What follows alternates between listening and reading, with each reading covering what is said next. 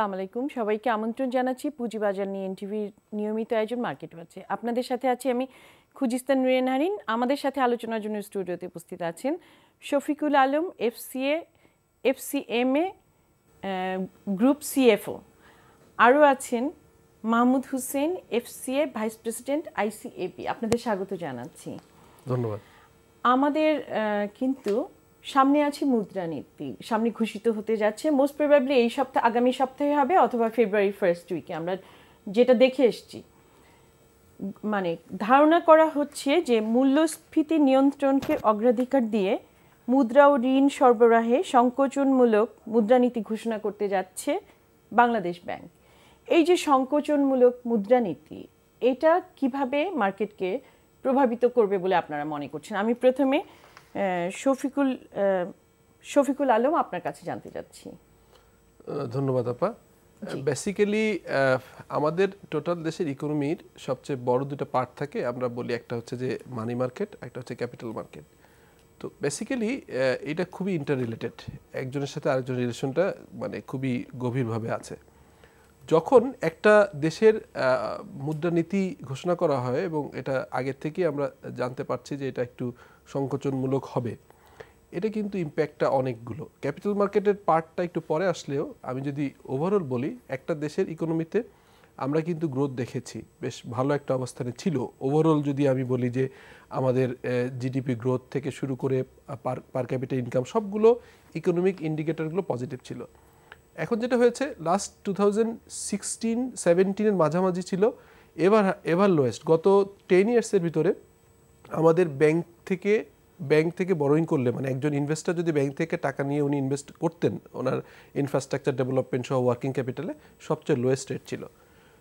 এই মুদ্রানীতিটা ঘোষণা হবে বা অলরেডি আলোচনায় এসেছে এডিআই রেশিওটা কমানো হবে, এই পরিপ্রেক্ষিতে কিন্তু হঠাৎ করেই আপনার কিছু ব্যাংক সবগুলো ব্যাংক কিন্তু এরকম নেই। আমার ধারণা যে সর্বোচ্চ বারো থেকে দশ থেকে বারোটা ব্যাংকের একটু এডিআই রেশিওতে একটু সিগনিফিকেন্টলি প্রবলেম আছে। Other than that the foreign bank যারা এখানে আসলে কোনো অফিসিয়ালি কোনো পারমিশন ছাড়া ব্রাঞ্চের মাধ্যমে করে আর কি ব্রাঞ্চ বা লিয়াজ অফিসের মাধ্যমে করে স্ট্যান্ডার্ড চার্টার এইচএসবিসি সহ আরও বেশ কিছু ব্যাংক আছে। সেই ব্যাংকগুলো কিন্তু এই সিগনিফিকেন্ট প্রবলেমের নেই।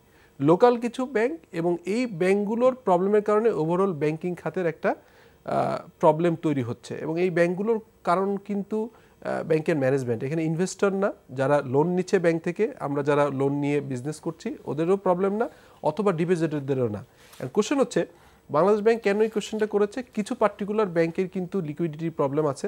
তাদের এডিআর রেশিওটা অনেক বেশি চলে গেছে। ফলে যেটা হয়েছে যে ডিপোজিটরা ডিপোজিটররা কমফোর্ট জোনে নেই। দেখেছি যে এটার কথা ছিল যে ষোলো পয়েন্ট টু পার্সেন্ট হবে কিন্তু গত নভেম্বরে দেখা গেছে উনিশ পয়েন্ট সিক্স পার্সেন্ট কিন্তু হয়ে গেছে। হ্যাঁ এখন কোশ্চেন হচ্ছে এই যে আপনি ক্রেডিট গ্রোথের কথা বললেন এই ক্রেডিট গ্রোথটা কিন্তু আসলে বেসিক্যালি আপনি যদি ক্রেডিট গ্রোথের ভিতরে আপনার যদি প্রোডাক্টিভ খাতে হয় ধরেন আপনি ইন্ডাস্ট্রি করার জন্য ক্যাপিটাল মেশিনারি যদি আনেন দ্যাট ইজ যে ইকোনমিক গ্রোথে হেল্প করবে। কিন্তু অ্যাপার্ট ফ্রম দিস যদি এমন হয় অন্য কোনো পারপাস হয় যেমন ব্যাংকিং খাতে কিন্তু গত আমার মনে হয় যে অলমোস্ট ইয়ার ধরে একটা আলোচনা চলছে। আমরা কয়েকটা বড় ব্যাংকের দেখেছি ম্যানেজমেন্ট চেঞ্জ হয়েছে ম্যানেজমেন্ট বাই আউট হয়েছে এবং এখানে কিন্তু কর্পোরেট গভর্নেন্স যেভাবে বলে যে একটা ব্যাংকের হতেই পারে ওনারশিপ ট্রান্সফার এটা কোনো দোষের কিছু না। বাট ব্যাংকিং কোম্পানি এককে চেঞ্জ করা এবং একে ব্যাকগ্রাউন্ডে নিয়ে যে চেঞ্জগুলো হয়েছে, যে কারণে কিন্তু not only capital market overall দেশের ইকোনমি আমরা যারা ইন্ডাস্ট্রি করছি, আমরা যারা ফাইন্যান্স আমরা কি করতে পারি? আমরা যখন এক্সপানশনে যাই আইদার আমরা we can take loan from the bank এর বাইরে হচ্ছে যে আপনার ভেঞ্চার ক্যাপিটাল থেকে কিছু টাকা নিতে পারে, এটা এখনও জনপ্রিয় না বাংলাদেশে, আর হতে পারে ক্যাপিটাল মার্কেটে তো ক্যাপিটাল মার্কেটে অনেকে আসছে, অনেক ভালো কোম্পানি আগের থেকে আসা বিকজ ক্যাপিটাল মার্কেট কিন্তু সুশাসনটা আগের থেকে অনেক বেড়েছে। রিফর্মগুলো হয়েছে, বেশ কিছু কন্টেম্পোরারি ল হয়েছে, এগুলো কিন্তু সাপোর্ট করছে। বাট আদার পার্ট বিশেষ করে বাংলাদেশ ব্যাংক যে পার্টটাতে রেগুলেট করে, এখানে আমি বলব যে সামহাউ কিছু জিনিসগুলো রয়েছে যেগুলো আরও একটু প্রপারলি অ্যাড্রেস করা দরকার আপনার কাছে আবারও আসব। মাহমুদ হোসেন আপনার কাছে একটু আসতে চাচ্ছি। শফিকুল আলম সাহেব বলছিলেন ব্যাংকিং সেক্টর নিয়ে কথা। আপনিও কি মনে করেন যে এই যে ব্যাংকিং সেক্টরে যে অস্থিরতা আমরা দেখতে পাচ্ছি শুধু ব্যাংকিং সেক্টর আমি বলব না পুঁজিবাজার এবং টোটাল দেশের অর্থনীতিতেই একটা কেমন একটা ডিফারেন্ট খুব অল্প সময়ের মধ্যে ডিফারেন্ট একটু সবার মধ্যে একটু টেনশন যে কি হচ্ছে এটা কি শুধুমাত্র মুদ্রানীতিকেই ঘিরে নাকি অন্য কিছু?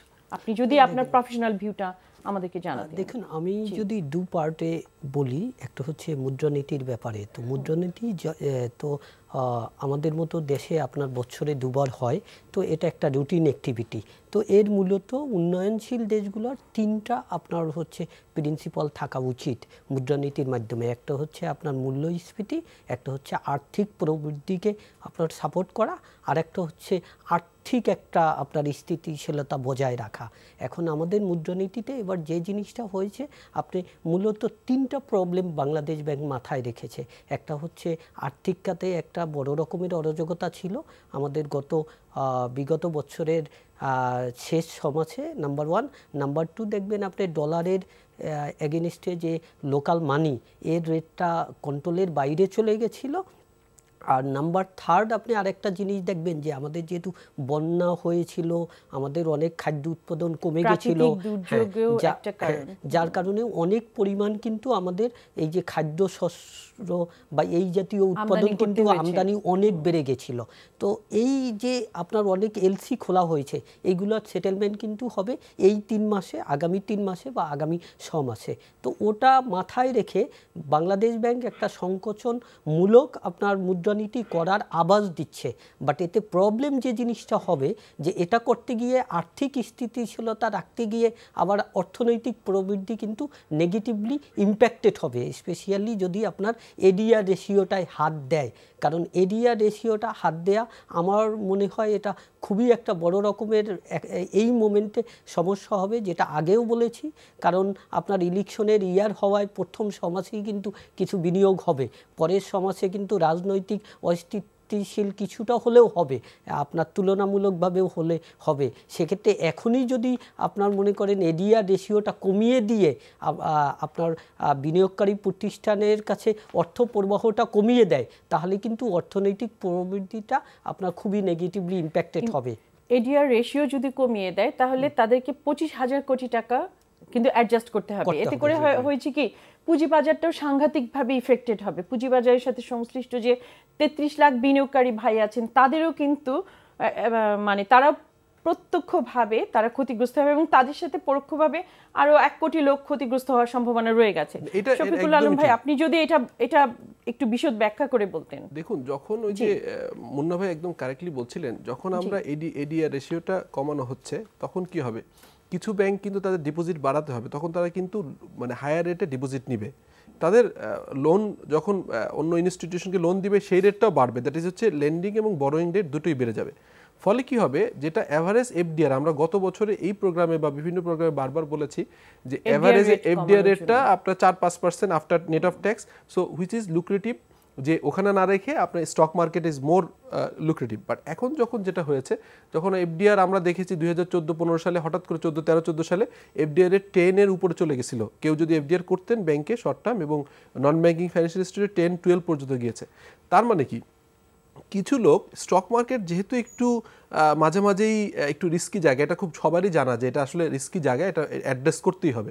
সো সবাই অনেকে সেফ খেলার জন্য, আগে এফডিআর রেটটা ছিল পাঁচ পার্সেন্ট এখন যদি আট বা নয় হয়, তো অনেকেই কিন্তু সেফ খেলার জন্য স্টক মার্কেটেও কিছু ভলাটিলিটিতে কাজ করে। সো এখান থেকে টাকা বের করে এফডিআর যাবে। এভাবে কিছু টাকা চলে যাবে ব্যাংকে এবং ব্যাংক ওই এফডিআর নিয়ে তার রেশিওটা ঠিক করবে। এবং ব্যাংক কিন্তু এই, এইভাবেই যখন ডিপোজিট রেট তাদের যখন বলে যে আমি আমার অ্যাসেটটা কে সেভ করার জন্য, আমি যখন ডিপোজিট নিব, তখন একটু রেট বাড়িয়ে দিবে। তো রেট বাড়িয়ে এলে যেটা হবে বিজনেসম্যানরা সাফার হবে তাদের বেশি রেটে বিজনেসের জন্য cost of cost of fund বেড়ে যাবে।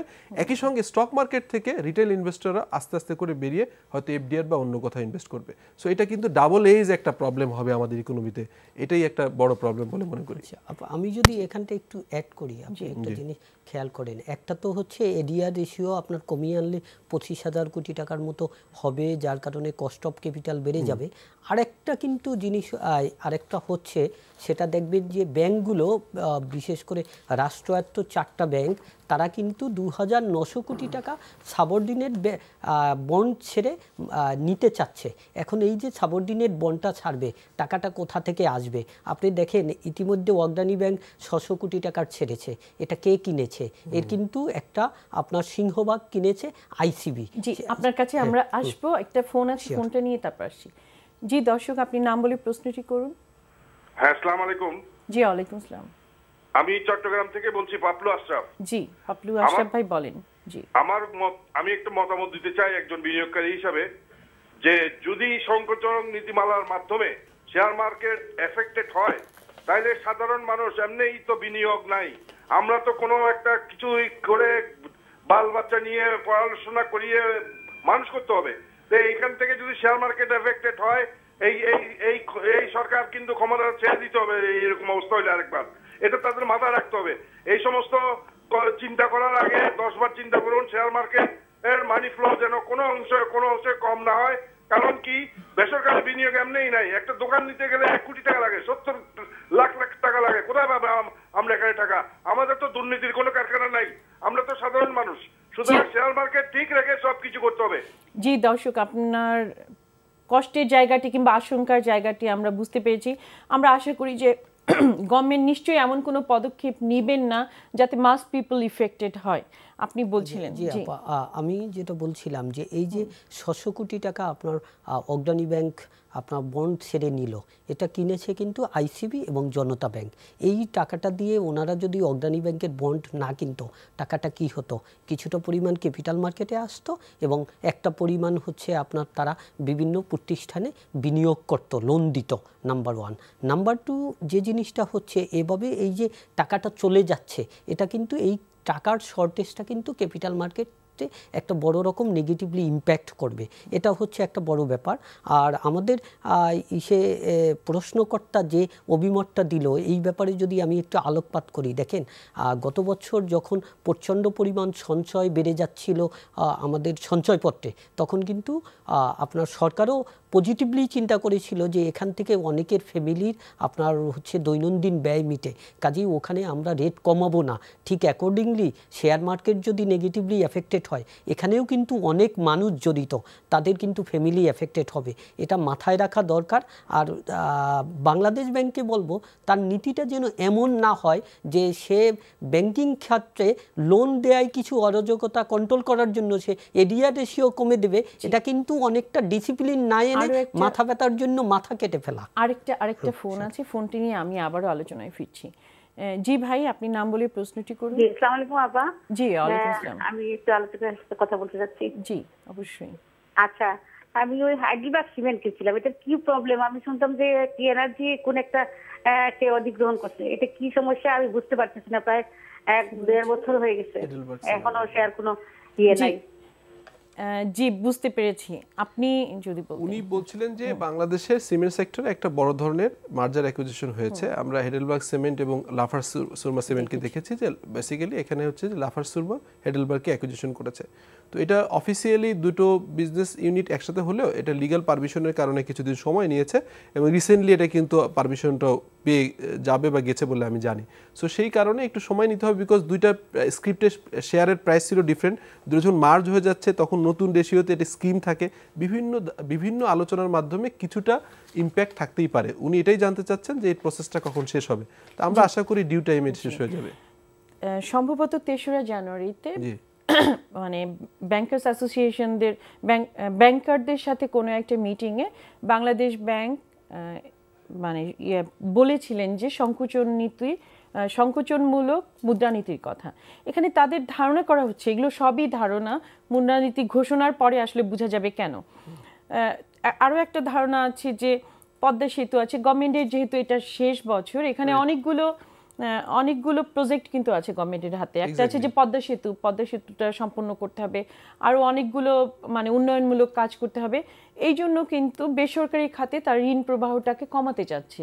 তো সরকারি খাতে ঋণ বাড়ানোর জন্য যদি বেসরকারি খাতে ঋণ প্রবাহটা কমিয়ে দেওয়ার চিন্তা করে তাহলে এটা কতখানি ইফেক্ট পড়বে সব জায়গায় অর্থনীতিতে? আপনি আপনি যদি বলতেন। অবশ্যই পড়বে কারণ এই জিনিসটা কিন্তু এই প্রোগ্রাম বা আমরা কিন্তু অনেকেই কথাটা বলেছেন আমি অনেককেই বলতে শুনেছি যে সারা ওয়ার্ল্ডে এই প্র্যাকটিসটা আছে যখন কোনো গভর্নমেন্টের আপনার ইনফ্রাস্ট্রাকচার ডেভেলপমেন্টের কাজ হয় তখন ক্যাপিটাল মার্কেট থেকে ফান্ড রেজ করা ইজি দেখেন একটা প্রাইভেট কোম্পানিতে একজন রিটেল ইনভেস্টর ইনভেস্ট করতে যতটা স্বাচ্ছন্দ্য বোধ করবে গভর্নমেন্টের কোনো সিকিউরিটিজ সেটা গভর্নমেন্ট বন্ড হতে পারে, গভর্নমেন্ট ইকুইটি সিকিউরিটি হতে পারে, এটা কিন্তু খুব- খুব কমফোর্টে থাকে। যে কারণে কিন্তু আমরা সঞ্চয়পত্রে কোনো ব্যাংকে টাকা রাখার থেকে বেটার সঞ্চয়পত্রে কমফোর্ট জোনেও থাকি। আমরা মনে হয় যে we are in a comfort zone so এখানে কিন্তু গভর্নমেন্ট অনেক আগের থেকে এই কাজটা করতে পারতেন যে ইকুইটি মার্কেটে কাজে লাগিয়ে এখান থেকে কিন্তু বড় বড় ইনফ্রাস্ট্রাকচার করার জন্য মেট্রো রেল তারপরে পদ্মা সেতু সহ এলএনজি যে পোর্ট ইয়েগুলো হচ্ছে ইকোনমিক স্পেশাল ইকোনমিক জোন হচ্ছে। এই বড় বড় গভর্নমেন্টে কিন্তু ভিশন অনেক বড় এবং লাস্ট ফিউ ইয়ার্সে কিন্তু অনেক বড় বড় প্রজেক্টের কাজ শুরু হয়েছে। সো এই জায়গাটাতে আমার মনে হয় এখনও সুযোগ আছে যে প্রাইভেট সেক্টরের ক্রেডিট গ্রোথকে মানে প্রবলেম না করে গভর্নমেন্ট যদি অন্য অল্টারনেটিভ ওয়েতে বিকজ সারপ্লাস মানি কিন্তু ছিল আপনি হঠাৎ করে কিন্তু মার্কেট ড্রাই হয়ে যায়নি। কিছু বিষয় হয়েছে ইন্টারনাল ব্যাংকের ভিতর কিছু অস্থিরতা কাজ করেছে ব্যাংকের ওনারশিপ ট্রান্সফার সহ ব্যাংকিং কোম্পানি অ্যাক্টের কিছু চেঞ্জের ইস্যুটা আসছে। সেকেন্ড যেটা হচ্ছে যে স্বাভাবিকভাবেই যখন আপনার আহ, আহ, মুন্না ভাই যেটা বললেন যে আরেকটা প্রবলেম হয়েছে নভেম্বর ডিসেম্বর মাসে নভেম্বর এবং ডিসেম্বর মাসে কিছু ব্যাংকে আমরা দেখেছি যে ডলার ক্রাইসিসে ভুগতে। ফলে হয় কি যে এলসিগুলোর কমিটমেন্ট ছিল সেই এলসিগুলোর পেমেন্ট করতে গিয়ে ঝামেলা হয়েছে। কিন্তু হঠাৎ করে এত ডলার ক্রাইসিসের কারণটা কি? কি বলে মনে করছেন? আমি যদি এখানে হ্যাঁ, না আপনার বাংলাদেশ ব্যাংক তো এ ব্যাপারে একটা অনুসন্ধানও করেছে। সেখানে দেখেছে কিছুটা আর্টিফিশিয়ালি ক্রিয়েটেড এবং কিছুটা দেখেছে যে হঠাৎ করে ওই যে খাদ্যশস্য আমদানি হয়েছে কিছু সেটেলমেন্ট হয়েছে এবং আপনি যদি আমদানি আমদানি বেড়ে গেছে আমদানি ব্যয়- রপ্তানির থেকে। আমদানি ব্যয় জি, বেড়ে গেছে এবং আপনার লাস্ট কোয়ার্টারে কিন্তু দেখবেন যে আমাদের প্রবাসী আয়ও কিছু পরিমাণ কমে গেছে। এর এর কিছু কারণ ছিল। আবার আরেকটা রিজন ছিল যে দেখেন ব্যাংকগুলো যখন কোনো এলসি নেয় তখন কিন্তু তার নৈতিক দায়িত্ব হয় যে সে একটা আপনার ফরেন কারেন্সি রিজার্ভ বিল্ড করে। যেহেতু আপনার মনে করেন বড় বড় প্রজেক্টে ইভেন রূপপুর প্রজেক্টে দেখবেন মোর দেন আপনার মনে করেন হিউজ টেন বিলিয়নের বেশি আপনার পরিমাণ এলসি খোলা হয়েছে। তো ওই ফান্ডগুলো কিন্তু ব্যাংক আস্তে আস্তে বিল্ড আপ করে। ওই জন্যও আপনার ব্যাংকগুলো কিন্তু কিছু ফান্ড বিল্ড আপ করছিল। এটারও আর একটা কারণ ছিল। বাট পরবর্তীতে বাংলাদেশ ব্যাংক কিন্তু ওটা আমি বলব ভালোভাবেই সামাল দিয়েছে। সে নিজে থেকে অনেক পরিমাণ ডলার মার্কেটে ছেড়ে দিয়েছে এবং এখন কিন্তু আবার রেটটা কিন্তু একটা সহনীয় পর্যায়ে চলে আসছে। হ্যাঁ আসা শুরু করেছে শুরু করেছে। আমি আরেকটা বলি যে সরকারের প্রয়োজনকে বাধাগ্রস্ত না করে যেন seven point four percent GDP প্রবৃদ্ধি অর্জন এবং মূল্যাস মূল্যস্ফীতি ফাইভ পয়েন্ট ফাইভ পার্সেন্ট সীমিত রাখা যায় এটাও কিন্তু সংকোচন নীতির একটা কারণ। কিন্তু আহ, হ্যাঁ কিন্তু এই যে সংকোচন নীতি আমরা জানি যে মানি মার্কেট এবং শেয়ার মার্কেট একটা একটার সাথে রিলেটেড এবং ওতপ্রোতভাবেই রিলেটেড এই যে সংকোচন নীতিটা শেয়ার বাজারকে বাজারকে কীভাবে ইফেক্টেড করতে পারে এবং কতখানি ইফেক্টেড করতে পারে বলে আপনি এটা তো অবভিয়াস একটা ইস্যু মানে বড় কথা আমরা কিন্তু অলরেডি দেখেছি যে আপনার বিভিন্ন প্রাতিষ্ঠানিক বিনিয়োগকারীরা তাদের তাদের বিনিয়োগ কমে এখন আছে আঠেরো point two nine percent. Already কিন্তু কমে গেছে প্রাতিষ্ঠানিক বিনিয়োগকারীদের। তারা কি আরও ভয়ে আছে? এবং আমরা গত কয়েকদিন দেখেছি যে কন্টিনিউয়াস মার্কেটের টার্ন ওভার অনেক কম এবং আমরা যদি মানে ইন্ডেক্সও দেখি ইন্ডেক্স যদিও দুই দিন গত দুই দিন একটু ভালো শো করছে কিন্তু এর আগে দেখেছি যে ক্রমাগত দর পতন কিংবা টার্ন ওভারটা বাড়ছে না। আপনি কি মনে করছেন যে পুরোটাই মানে এই মুদ্রানীতির জন্য? কিংবা কি? এটা তো অবশ্যই ইম্প্যাক্ট আছে। দেখেন যেটা মার্কেট মেকার বলে আমরা যেটা বলি যদিও মার্কেট মেকার রুলটা এখন স্ট্রং আমাদের দেশে এরকম হয়নি বাট স্টিল যেগুলো মার্চেন্ট ব্যাংক আছে যারা মার্কেটকে মেক করে বা এই পর্যায়ে তারা কিন্তু ইন্ডিভিজুয়ালি মার্চেন্ট ব্যাংক নিজস্ব সংখ্যা খুবই কম। কোনো ব্যাংকিং কোম্পানির সাবসিডিয়ারি কোম্পানি নন ব্যাংকিং কোম্পানির সাবসিডিয়ারি কোম্পানি অথবা ইন্স্যুরেন্স কোম্পানি আসে। তো এখন ইন্স্যুরেন্স কোম্পানিটা যদি অ্যাপার্ট করি, আমার পঞ্চাশটার কাছাকাছি যে মার্চেন্ট ব্যাংকগুলো আছে, তাদের ইনভেস্টমেন্টটা কিন্তু ইম্প্যাক্টেড হবে কারণ তার প্যারেন্ট কোম্পানি যখন স্বাভাবিকভাবেই অর্থ সংকটে থাকবে, যখন তার কিন্তু হাই রেটে ডিপোজিট নিতে হচ্ছে, তখন স্বাভাবিকভাবে তার সাবসিডিয়ারি কোম্পানিগুলোকে কিন্তু বলবে যে তোমরা ইনভেস্টমেন্ট কমাও। এটা একটা প্রবলেম আরেকটা প্রবলেম তো এক্সপোজারের একটা ইস্যু কিন্তু ছিল যদিও সলভ করা হয়েছে বাট অলওয়েজ কিন্তু এটা হয় যে মার্কেট প্রাইসে যখন এক্সপোজার দেখানো হয় তখন স্বাভাবিকভাবেই প্রাইসটা তো আপনার কস্ট প্রাইসে দেখানো হয় না। মার্কেট শফিকুল আলম আপনি বলছিলেন ওই ওই যেটা সংকোচনীয় সংকোচন সংকোচনমূলক মুদ্রানীতিতে পুঁজিবাজারের প্রভাব এটা নিয়ে সেটাই। বলছিলাম যে মার্কেট মেকার যারা আছে মার্কেট ইন্টারমিডিয়েট যারা আছে তারা তো মোস্টলি কোনো না কোনো ফাইন্যান্সিয়াল ইনস্টিটিউটের সাবসিডিয়ারি কোম্পানি হিসেবে কাজ করছে তো স্বাভাবিকভাবে যখন একটা ব্যাংকের যখন আপনার ফান্ডের প্রয়োজন হয় যখন তার এডিআর রেশিও ঠিক করার জন্য সে স্বাভাবিকভাবে ডিপোজিট বেশি নেবে কম্পারেটিভলি লোন কম দিবে এবং বাংলাদেশ বাংলাদেশের এই সময় এসে বেশ কয়েকটা ব্যাংক কিন্তু এরকম চিঠিগুলো দেওয়া শুরু করেছে যে রেটটা আপনার টু থ্রি পার্সেন্ট অ্যাড করছে এবং এরকম কোশ্চেনও আছে যে পাঁচ লাখ টাকা বা তার থেকে বেশি টাকা যদি লোন নিতে হয় তাহলে তাদের হেড অফিসে পাঠাতে হয়। এটা কিন্তু মানে খুব ভালো সিগন্যাল না। তার মানে they are in a tight situation some bank আমি সবগুলো বলছি না। তো ওই ব্যাংকগুলোর যে সাবসিডিয়ারি কোম্পানিগুলো আছে তাদের কিন্তু সেল প্রেশার থাকবে। এটা খুব স্বাভাবিক। ওনারা চান বা না চান তারা কিন্তু মার্কেটে সেল করবে। একইভাবে যেটা বললাম যখন আপনি এডিআর রেশিও ঠিক করার জন্য আপনার ব্যাংকগুলো বেশি রেটে ডিপোজিট নেওয়া শুরু করবে এটা আমি আবার রিপিট করছি তখন কিন্তু অনেক স্মল ইনভেস্টররা তারা সেফ থাকার জন্য স্টক মার্কেট থেকে বেরিয়ে যে আপনার এফডিআর করবেন খুব স্বাভাবিক। এবং যখন দেখবে মার্কেটটা কিন্তু এই যে ডিসেম্বরের পর থেকে জানুয়ারিতে ডিসেম্বরে যেরকম প্রবলেম ছিল এটা কিন্তু হওয়ার কথা আপনার ছিল না। কাছে আবারও ফিরবো আমার একটা কোশ্চেন আছে আমি কোশ্চেনটা করে দুটো ফোন আছে ফোন নিয়ে আসব। আমার প্রশ্ন হচ্ছে যে এখানে মানে ঋণের লক্ষ্যমাত্রা হচ্ছে ষোলো পয়েন্ট টু জিরো পার্সেন্ট কিন্তু এটা হয়ে গেছে উনিশ পয়েন্ট সিক্স জিরো পার্সেন্ট এই যে এত ব্যবধানটা হলো বাংলাদেশ ব্যাংক তখন কোথায় ছিল? কি করল? আপনি বলবেন এটা তার আগে দুটো ফোন আছে ফোন দুটো নিয়ে তারপর আসছি। জি দর্শক আপনি নাম বলে প্রশ্নটি করুন। হ্যালো আসসালামু আলাইকুম। জি ওয়ালাইকুম আসসালাম। আমি শুভ ঢাকা থেকে বলতেছি। জি শুভ বলুন আপনি। আমার কোশ্চেন হচ্ছে দুটা। প্রথম কোশ্চেন যে ব্যাংকিং সেক্টরে যদি এখন ইনভেস্ট করতে চাই তাহলে কি দেখে ইনভেস্ট করব? আর ফার্মাসিউটিক্যাল সেক্টরে মানে স্কোয়ারের সম্ভাবনা কি? মানে সম্ভাবনা আসলে আমরা কি দেখতে পাচ্ছি? সামনে গ্রোথটা কীভাবে থাকতে পারে? যদি বলতেন খুশি হতাম আর কি। জি জি, ধন্যবাদ দর্শক। আমরা বুঝতে পেরেছি উনি আনসার করবেন। আরও একটি ফোন আছে। আপনি নাম বলে প্রশ্নটি করুন। কেটে গেল মনে হয় দুঃখিত কেটে গেছে ফোন ফোন লাইনটি জি আপা, আপনি আ- বলুন। আমি শুরু করার আগে একটু আপনার পূর্ববর্তী কোশ্চেনে একটু যাই যেখানে বলছেন যে সংকোচনমূলক মুদ্রানীতি নিলে আমাদের শেয়ার মার্কেট কীভাবে এফেক্টেড হতে পারে।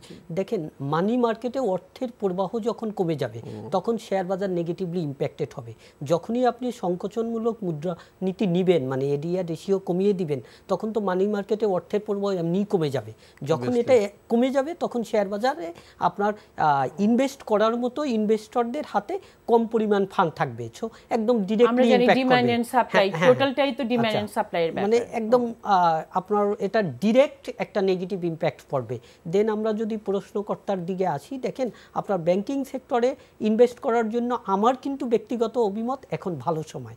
আর আপনি যে জিনিসটা দয়া করে দেখেন ব্যাংকিং সেক্টরে যে প্রথম দেখেন যে এই ব্যাংকের ব্যবস্থাপনায় কারা আছে তারা কতটা নৈতিকতার নিরীক্ষে পরিচালিত হচ্ছে নাম্বার ওয়ান নাম্বার টু দেখেন আপনি এদের ডিভিডেন্ড ইল্ড কেমন আছে, আর নাম্বার থার্ড দেখেন, আর একটা ফ্যাক্টর বলব নাম্বার থার্ড দেখেন যে পার শেয়ার অ্যাসেট ভ্যালু কত এবং এখন মার্কেট ভ্যালু কত, এই দুটোর মধ্যে কতটা ফারাক আছে। এই তিনটা জিনিস দেখে যদি আপনি ইনভেস্ট করেন, আমার মনে হয় আপনার ইনভেস্ট থেকে ভালোই একটা রিটার্ন আসবে। তার মানে আপনি পরিচালনা পরিষদকে নাম্বার ওয়ানই দেখতে নাম্বার ওয়ান কারণ আপনার দেখেন আপনার কাছে জাহাজটা যতই ভালো হোক নাবিক যদি আপনার মনে করেন ভালো না হয় আপনার টাইটানিকও কিন্তু আপনার মনে করেন দুর্ঘটনায় ডুবে গেছে বাট বড় জাহাজও কিন্তু ডুবে যেতে পারে। আর ছোট নৌকো নিয়েও যদি নাবিক ভালো হয় তাহলে কিন্তু একদম আপনার সে তার গন্তব্যে পৌঁছতে পারে। এটা হচ্ছে স্বাভাবিক ব্যাপার। কাজী নাবিকের ভূমিকা অনেক বড় এখানে, অনেক বড়। আর আপনি যে কোশ্চেনটা করেছিলেন যে এই যে গত মুদ্রানীতিতে টার্গেট ছিল সিক্সটিন পয়েন্ট সামথিং সেখান থেকে উনিশ পার্সেন্ট হলো, তখন বাংলাদেশ ব্যাংক কি করেছে? এটা আমি বলব কিন্তু এটা আমাদের জন্য প্রচণ্ড রকম একটা দুর্ভাগ্যের ব্যাপার। এটা বাংলাদেশ ব্যাংকের সব ক্ষেত্রেই হয়। এর আগেও দেখা গেছে যে আপনার শুধু এই ক্ষেত্রে না, বাংলাদেশ ব্যাংক হ্যাজ অ্যালাউড আপনার কিছু ব্যাংককে শেয়ার মার্কেটে ইনভেস্ট করা। পরবর্তীতে তারা পানিশমেন্ট করেছে। তো এখানে ওনারা কি করে? আপনার প্রিভেন্টিভ মেজার না নিয়ে সবসময় কিন্তু কিউরেটিভ মেজার নেয়, যেটা কিন্তু আমি বলব বাংলাদেশ ব্যাংকের বড় একটা ব্যর্থতা এবং এই ব্যর্থতার জন্য শুধুমাত্র আপনার ক্যাপিটাল মার্কেট না টোটাল ইকোনমি এফেক্টেড হচ্ছে। কারণ সব সময় কিন্তু আপনার ব্যাংকগুলা বাংলাদেশ ব্যাংকে রেগুলারলি রিপোর্ট করে। তখনই কিন্তু তাকে আপনার মনে করেন হাল টেনে ধরা উচিত ছিল। Then they allowed and now they are saying যে না, এটা হবে না, এজন্য আমি ওভারঅল নীতিটাই চেঞ্জ করে দিব। আপনি সাংঘাতিক একটা ইম্পর্টেন্ট কথা বলেছেন যে বাংলাদেশ ব্যাংক সবসময় প্রিভেন্টিভ মেজার না নিয়ে কিউরেটিভ মেজার নেয়। যেটার একটা ভীতি সঞ্চার করে ফেলে কিন্তু প্রায়শই আমরা দেখি। এই জিনিসটা ভবিষ্যতে নিশ্চয়ই বাংলাদেশ ব্যাংকের নজরে রাখা উচিত বলে মনে করছি। দেখেন বাংলাদেশ ব্যাংকের যেটা বলছিলাম যে বাংলাদেশ ব্যাংকের মুদ্রানীতি এবং তার যে দায়িত্ব যদি বলেন তার দায়িত্ব কিন্তু শুধু মুদ্রাস্ফীতি না তার দায়িত্ব অর্থনৈতিক প্রবৃত্তিটাও হেল্প করা। আর্থিক একটা স্বচ্ছতা বজায় রাখা। সেদিক থেকে সে যখনই আপনার প্রিভেন্টিভ মেজার না নিয়ে কিউরিটিভ মেজার নেয় তার মানে কিন্তু তার যে ভিজিলেন্স সিস্টেম তার যে কন্ট্রোল মেকানিজম সেটা যে পনেরো দিন পর করছে নাই সেটা কিন্তু বোঝা যায়। তারা পনেরো দিন পর পর রিপোর্টগুলো দেখছে এক মাস পর পর দেখছে পনেরো দিন অন্তর অন্তর দেখছে বিভিন্ন জায়গায় তথ্য উপাত্তগুলো সংগ্রহ করছে তাহলে এত দেরিতে কেন? তখনই সঙ্গে সঙ্গে তারা যদি মেজার নিতেন আজকে যে ভীতি সঞ্চার হয়েছে সবার মাঝে এক ধরনের আশঙ্কা কাজ করছে এটা হয়তো করতেন না। আমি একটু ডিফারেন্ট সেক্টরে ডিফারেন্ট কোয়েশ্চেনে ফিরে আসি। আমরা জানি যে কোম্পানি একটা সংশোধন হতে যাচ্ছে। এখন একটা একটা জিনিস দেখা যাচ্ছে কোম্পানি অ্যাক্টে সেটা হচ্ছে যে সাধারণ সরি সাধারণ শেয়ার হোল্ডাররা কোম্পানির পরিচালক হতে পারবেন। এটা সহ আরও অনেক অনেক নতুন নতুন চেঞ্জেস আসার সম্ভাবনা আছে। এই কোম্পানি অ্যাক্ট সংশোধিত কোম্পানি অ্যাক্ট নিয়ে যদি আপনি বলতেন। দেখুন, এখানে যেমনি আপনি আসার কথা বললেন, তেমনিভাবে কিন্তু নিরাশার কথাও আছে। কোম্পানি একটা কিন্তু বেসিক্যালি নাইনটিন থার্টিন উনিশশো সালের যে ব্রিটিশ আমলের যে একটা ছিল, এরপরে হয়তো নাইনটিন ফিফটি সিক্সে পাকিস্তান আমলে একটা চেঞ্জ আসছিল আপনার এই একটা মোস্টলি কিন্তু মেইন স্ট্রাকচার ঠিক আছে বাট সারা ওয়ার্ল্ডেই কিন্তু কোম্পানি একটা অনেক কন্টেম্পোরারি আসছে।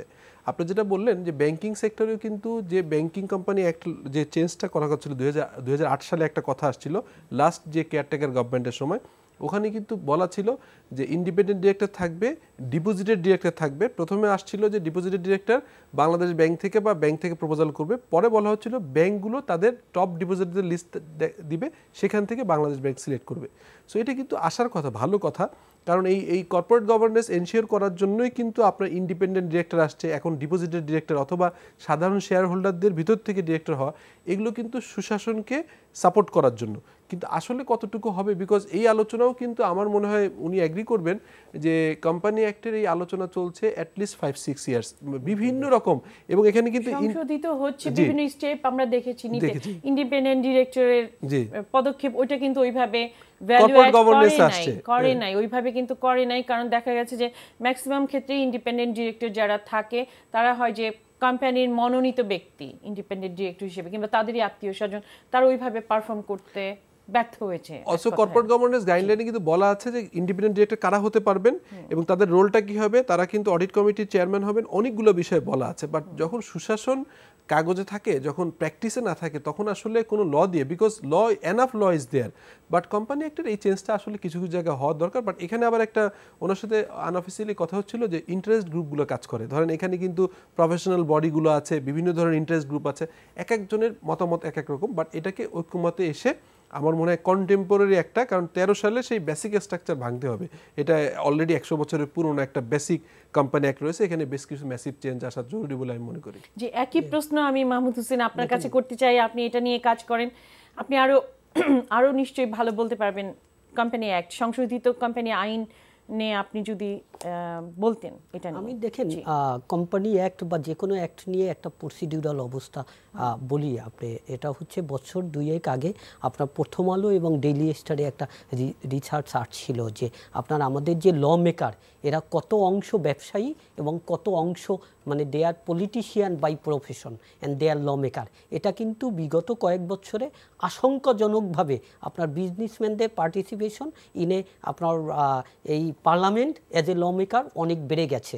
এখন যে জিনিসটা হচ্ছে, এটা হওয়ায় যে প্রবলেমটা হয়, তারা কিন্তু তাদের ইন্টারেস্টটা যেটাকে আমরা ভেস্টেড ইন্টারেস্ট বলি, ওটা কিন্তু আপনার সার্ভ করে ওখানে গিয়ে নাম্বার ওয়ান নাম্বার টু হচ্ছে এই আইনটা এখনও আপনার মনে করেন মিনিস্ট্রি অফ কমার্স যে এই কোম্পানি একটা মেনলি হচ্ছে ড্রাইভ করবে, ওনাদের কাছে আছে, ওনাদের কনসালটেশনের পর্যায়ে আছে। উনি ঠিকই বলছেন যে, অনেক আগ থেকে শুরু হয়েছে বাট দুর্ভাগ্যজনকভাবে হলেও সত্য কি জানেন, আপনার যেটা দু বছর আগে যে জিনিসটা বিভিন্ন professional body and stakeholder আপনার যেমন ব্যবসায়ী সংগঠন, তারপর বার অ্যাসোসিয়েশন, সবাই মিলে যে জায়গাটা অগ্রগতি এনেছিল, যেরকম একটা জায়গায় এনেছিল, আমরা কদিন আগে যে আপনার রিপোর্টটা পেলাম চেঞ্জেস ওখানে আবার ওখান থেকে সেই পূর্বের জায়গায় ফিরে গেল। তার মানে যে ইম্প্রুভমেন্টটা হয়েছিল সেগুলো কিন্তু আমরা হারিয়ে ফেলছি। এবং এখন বর্তমানে যে চেঞ্জগুলো দেওয়া হয়েছে আমি গতকালকেই এটা রিভিউ করতেছিলাম আমাদের অন্য একটা প্রয়োজনে। তখন দেখেছি যে এখানে ইনকমপ্লিট রয়ে গেছে।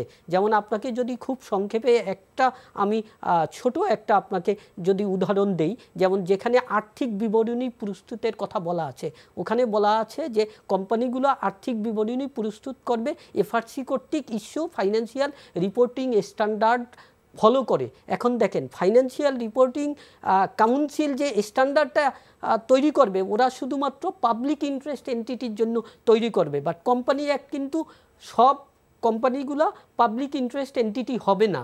এখন তাদের যদি পাবলিক ইন্টারেস্ট এন্টিটির জন্য যেটা পালনীয় ওই স্ট্যান্ডার্ড অনুসারে ফাইন্যান্সিয়াল স্টেটমেন্ট তৈরি করতে হয় তাহলে ছোট কোম্পানিগুলোর কিন্তু কস্ট অফ ডুইং বিজনেস অনেক বেড়ে যাবে। আরও অনেক ছোটখাটো আরও অনেক ব্যাপার আছে। একজন মহিলা থাকতে হবে বয়স পঁচিশ থেকে চল্লিশের হ্যাঁ। মধ্যে থাকতে হবে কোনো একজন ডিরেক্টরে এগুলো অনেক আরও অনেক অস- অসামঞ্জস্যতা আছে একটা ফোন আছে ফোন আবার জি ভাই আপনি নাম বলে প্রশ্নটি করুন।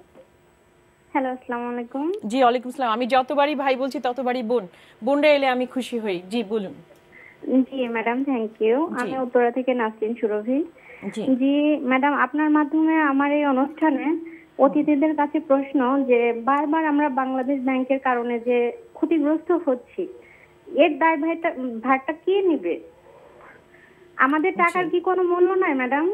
জি ধন্যবাদ আপনার প্রশ্নটি বুঝতে পেরেছি। তাদের আসলে সবার একই কোশ্চেন এর আগে পাপলু আশরাফ বলেছিলেন এখন ওই আপাটি বললেন সে হয়তো অল্প বয়স সে রেখেছে এখানে ইনভেস্ট করেছে। মেয়েরা তো আসে না। মেয়েরা এলে কিন্তু আমরা সাংঘাতিক খুশি হই যে একটা মেয়ে এসছে তার মানে সে খানিকটা আগানো। এই যে তাদের দুশ্চিন্তা এই দুশ্চিন্তাটা শুধু তাদের না সবার মধ্যেই বিরাজমান। এটা কিন্তু অলরেডি আলোচিত হয়েছে যে মানে এটা মাস্ট বলাই হয় যে প্রিভেন্টিভ অ্যাকশন যত নিতে পারবেন ক্ষতি তত বেশি কম হবে। যদি আপনি মনে করেন ক্ষতি হওয়ার সম্ভাবনাটাকে আগে দেখতে পারেন তাহলে কিন্তু প্রিভেন্টিভ মেজারগুলো নেবেন। বাট অলরেডি যেমন দুই হাজার আমি কথাটা আবারও বলছি ধসের পিছনে অন্যতম কারণ ছিল ওয়ান ফাইন মর্নিং কিছু ডিসিশন এবং খুব অল্প সময়ের জন্য সময়। আরেকটা আরেকটা ফোন আছে জি, আবার আসছি। জি। জি ভাই আপনি নাম বলে প্রশ্নটি করুন। দুঃখিত লাইনটি কেটে গেছে। জি আপনি বলছিলেন। তখন ওয়ান ফাইন মর্নিং ডিসিশনের বিষয় না কিন্তু। এই যে এডিআর রেশিও ঠিক করতে হবে এটা কিন্তু আমি আপনি বা প্রফেশনাল যারা এই কাজটা করছেন ওরা কিন্তু একদিনে হয়নি। কোনো এই রেশিওটা চেঞ্জ হয়েছে যে স্ট্যান্ডার্ড থেকে কিছুটা ডাইভার্সন হয়েছে ডেভিয়েশন হয়েছে এটা কিন্তু একদিনে হয়নি ওভার দ্য পিরিয়ড হয়েছে।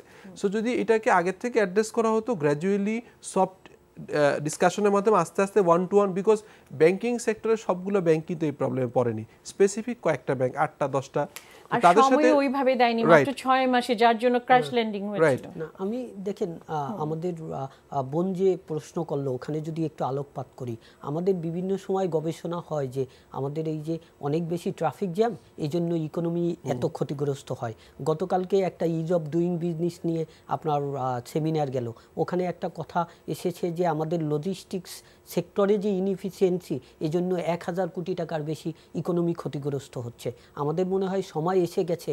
এখন আমাদের ইম্প্যাক্ট অ্যানালাইসিস করে দেখতে হবে যে বাংলাদেশ ব্যাংকের এই যে অদূরদর্শী আপনার বিভিন্ন সিদ্ধান্ত এবং তাদের যে নিষ্ক্রিয়তা, এটার জন্য আপনার total economy and capital market কতটা পরিমাণ ক্ষতিগ্রস্ত হচ্ছে এবং এই যে বিভিন্ন স্টেক হোল্ডারদের যে সমন্বয়হীনতার অভাব যেটা ইভেন মনে করেন আমি যদি ওভাবে বলি যে আমাদের মার্চেন্ট ব্যাংক অ্যাসোসিয়েশন যেভাবে বাংলাদেশ ব্যাংকের সাথে নেগোসিয়েট অ্যান্ড বার্গেন করা উচিত সিকিউরিটি এক্সচেঞ্জ কমিশন বাংলাদেশ ব্যাংককে যেভাবে বলা উচিত যে you can't unilaterally take this decision যেটা আমার জুরিসডিকশনে এফেক্ট করে, এই সমন্বয়হীনতার অভাবে যে ক্ষতিগ্রস্ত হচ্ছে, এটা অ্যানালাইজ করে it should be taken into court যে কেন একটি- তারা এটা করছেন? আরও একটি ফোন আছে ফোনটি নিয়ে আমি আবারও ফিরছি। জি ভাই আপনি নাম বলে প্রশ্নটি করুন। আসসালামু আলাইকুম। জি, আমি তো অনেক চেষ্টার পরে লাইনটা পেলাম আমি ইয়ালি বলছি আর কি এক্স ব্যাংকার জি বলুন।